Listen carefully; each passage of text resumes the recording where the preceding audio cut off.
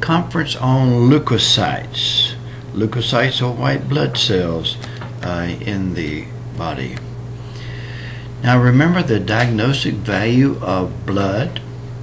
You can tell information from the blood uh, evaluation. Identify the nature of the disease. Determine if the cells are present, for example. You can follow the course of the disease and evaluate the treatment. Is it getting better? Is it getting worse? Different things you can learn from the blood. Now there are different types of leukocytes. You have the granular leukocytes, which are the neutrophils, eosinophils, and basophils, and the non-granular ones, the lymphocytes and the monocytes. But today we're going to work with just the neutrophils. And neutrophils have two types of granules. They have azurophilic granules, which are just basically primary lysosomes, acid phosphatase, but they also have specific granules, which have the basic protein in there, which uh, allows you to have antibacterial action of the neutrophils, and that's why neutrophils are the ones that attack whenever you have an infection. Now, immature neutrophils, when they come out, if they come out as immature ones, they are band cells, which is a basic step just before the mature ones release. But if there's an infection, you need more neutrophils, band cells will be released. They increase their phagocytosis by having uh, items opsonized. In other words, antibodies uh, attached to them will facilitate uh, the bacteria being eaten uh, by the neutrophils. Also, the neutrophils have basic cellular functions. Random motility. They move in every different direction. They're uh, produced in the bone marrow. They have to move out. So they have to randomize to move out.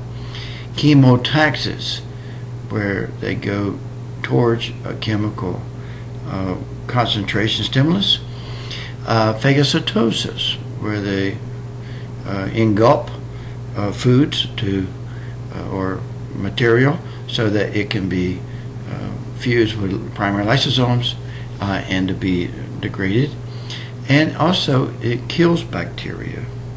And so, in our uh, conference today, we need to come up with a way to measure the basic cellular functions, like random motility. How do you measure movement? Chemotaxis how do you measure attraction and movement, directed movement? How do you do that? Phagocytosis, measure uh, intake of cells. How's it occur? And the killing of bacteria. How do you measure killing? So, in terms of our consideration, uh, how could one determine if white blood cell count is correct? Are cells being produced in blood or not? How can one develop an assay for each of the basic functions? Movement is one. How would you measure the movement of clouds? How do you know if clouds are moving, for example? You could use the same thing in a microscope uh, to try to measure movement of cells. Directed movement toward a high concentration of a chemical. How could you do that? And how could you do that with maybe use of different chambers? Uh, put cells in one and stimulus in another and see if it goes to that direction. Internalization of bacteria. Bacteria inside cells, not just attached to the surface. Those are just attached to the surface, trypsin might be able to remove. But trypsin can't remove those that are internalized in a cell. How could you tell? And how could you tell if the bacteria were just eaten or actually killed? Dead cells do not duplicate and divide. So uh, you have to come up with a system to measure the capability of these products uh, to yield bacterial growth.